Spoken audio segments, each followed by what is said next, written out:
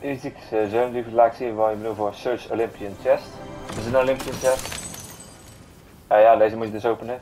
En dat was voor deze video. Ik hoop dat je het leuk vond. en vergeet niet om te liken en te abonneren.